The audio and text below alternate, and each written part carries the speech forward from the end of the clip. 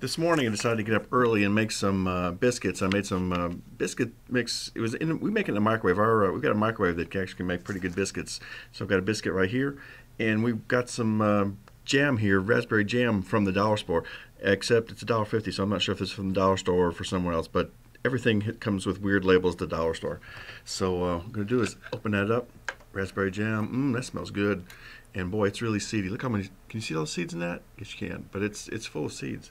Uh, which means if you've got diverticulitis or something, this probably kill you. But put a little bit of that on that, and see how that tastes. A little bit of jelly on the bread there. Mmm, mmm. Oh, so good. Mmm, mmm, mmm, mmm. Mmm, that's good. Breakfast with Wally. Bye. Where's the mouse? Where's the mouse?